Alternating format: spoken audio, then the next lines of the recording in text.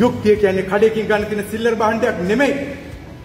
ඒ වුණාට මාව පැහැරගෙන ගියේ සිල්ලර භාණ්ඩයකටත් අන්ත විදියට. අපේ නවතම වේදිකා නාට්‍ය වේදිකාගත වෙනවා.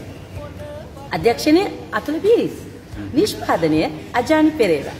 ඉතින් මම හැමෝටම ආරාධනා කරනවා මතකයිනේ